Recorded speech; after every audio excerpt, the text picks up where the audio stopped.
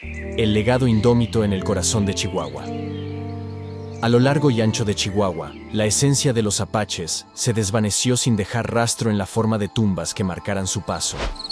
En su lugar, encontramos el yermo y solitario paraje de Tres Castillos, un sitio que actúa como el sepulcro silencioso de toda una etnia. Este enclave es el último testigo mudo de la resistencia de los apaches. Su epitafio es el escenario inhóspito y despiadado que los vio luchar hasta su último aliento. La batalla de Tres Castillos no fue una simple escaramuza, sino un episodio crucial que marcó un punto de inflexión en la historia de los apaches. Esta contienda selló su destino, ya que a partir de la caída de su líder supremo, las incursiones y violentos asaltos disminuyeron paulatinamente.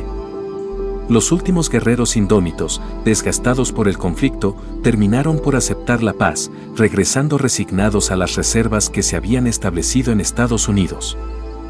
La muerte de Victorio, el respetado jefe de los apaches, no fue una tragedia que pasó desapercibida entre sus seguidores. Un clamor de venganza resonó entre las filas de los supervivientes de tres castillos, liderados por el bravo guerrero conocido como Hu. Este valiente apache se propuso personalmente saldar la deuda de honor, con la determinación de un hombre que ha perdido todo salvo su sed de justicia. Las celebraciones por la victoria en Tres Castillos apenas habían concluido en el lado de los vencedores, cuando la sombra del terror volvió a cernirse sobre el noroeste de Chihuahua. Yu, junto con el legendario Jerónimo, se encargaron de recordar a todos que la lucha apache, aunque mermada, aún latía con fuerza en el corazón de algunos. No hubo descanso ni tregua, las llamas de la resistencia apache se mantuvieron vivas, alimentadas por el espíritu inquebrantable de estos guerreros.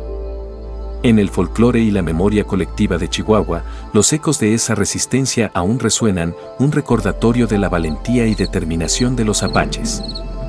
Aunque no haya tumbas que marquen su paso, su legado perdura en la tierra que una vez lucharon por proteger. La historia de los apaches en México es un testimonio de resistencia y lucha, un canto a la libertad que, a pesar de los años, se niega a ser silenciado. Tu recomendación puede ayudar a que más personas se sumen a este viaje de aprendizaje y respeto. Recuerda, cada vez que compartes nuestro contenido, estás contribuyendo a mantener vivas las historias y las voces de los nativos americanos. Tu aporte puede marcar una diferencia significativa en esta misión.